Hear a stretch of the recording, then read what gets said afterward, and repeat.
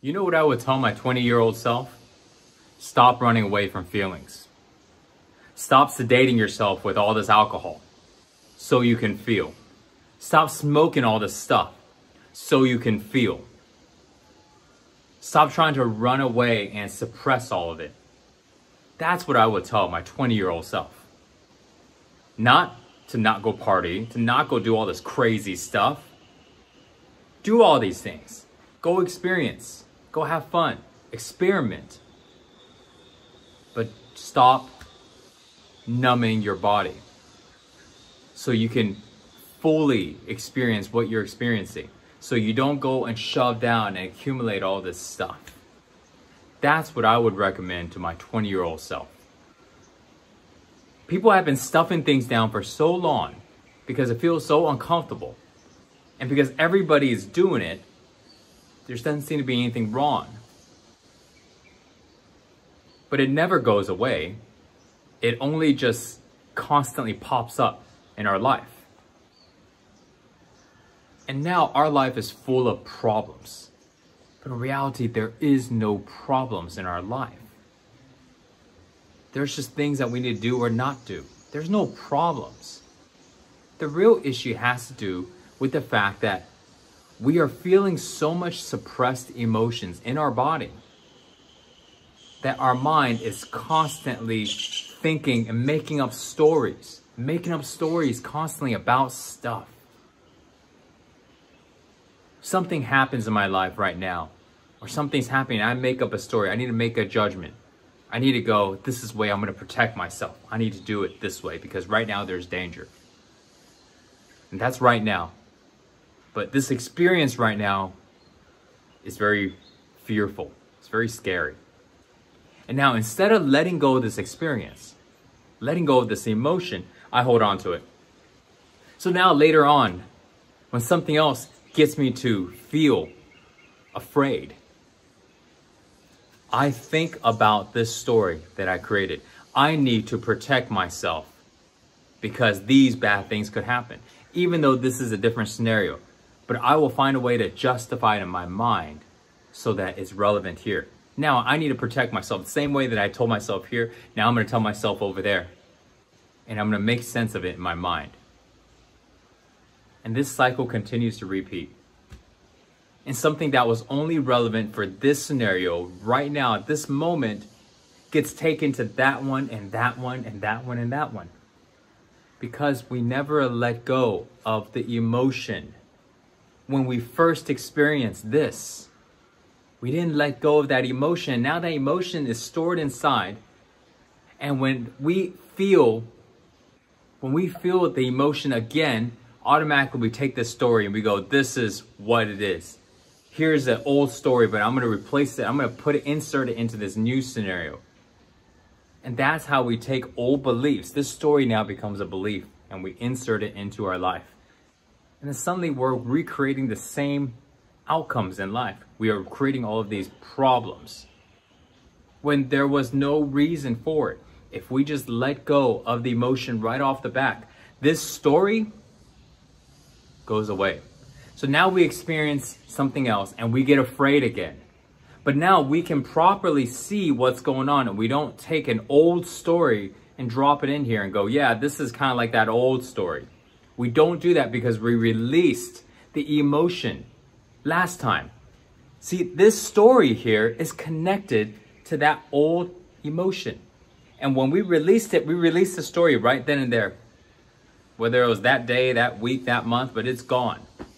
And now when we experience a new thing, while we have the same emotion, we'll call this emotion fear, but we don't take that old story because we released that story back then. So then now we can properly assess what do we need to do right now to go ahead and handle this situation. And then we do it.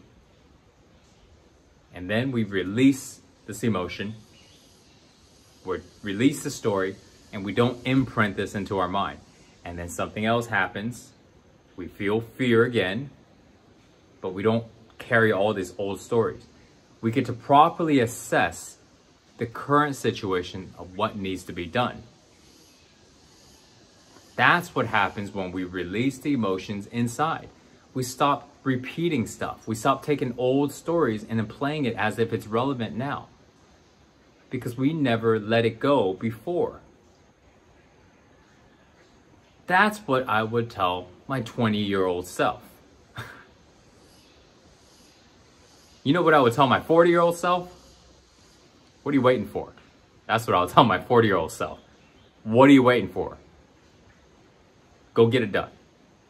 Do it now. The time is now. You don't got any more time to waste here. That's what I would tell my 40 year old self. Because so many young people right now are just stuffing it down. And then they get older and older and all of this drama is coming out. But they can skip all of this. And they can skip all of it simply by learning how to feel and stop sedating their body.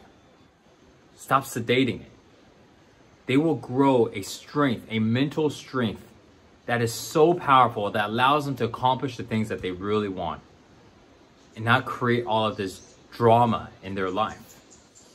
But they got to do this one thing. They got to be able to just feel and stop sedating their body with all this stuff.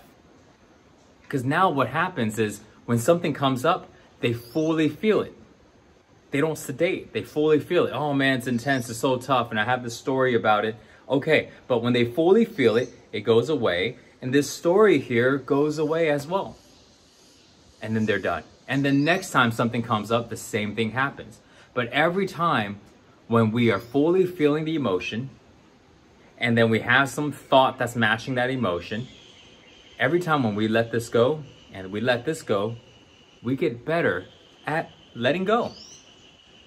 We are practicing every time a person is letting go of the way they feel this emotion, they fully feel it and release it, they get better at fully feeling it and release it. It's just like anything else. All this is just practice.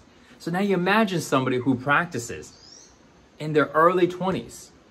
So by the time they're in their 40s, they don't got all these problems because they know they well, they stop they just stop creating them throughout the life.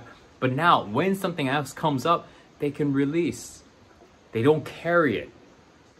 Because I see people now in their 50s and 60s and oh my God, it's like the years. It's not the years of age on their body. It's the years of them carrying all this emotions in their body. So if you're in your 20s, stop accumulating it now. And all you have to do is practice feeling and stop sedating your body from feeling. Fully feel it, fully surrender to the feeling and release it. You do that at your 20s and your life will be the best that it could be as you get older.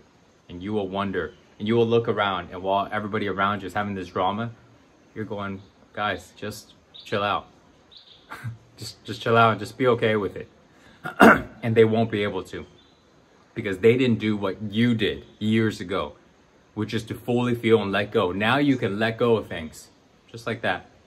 It's not even difficult because you've been practicing it for so long now. So I hope this makes sense. I hope this could at least just encourage just one 20 year old person to start doing this. Because then that, me- that means this video can change and can influence at least one life. And that would be great.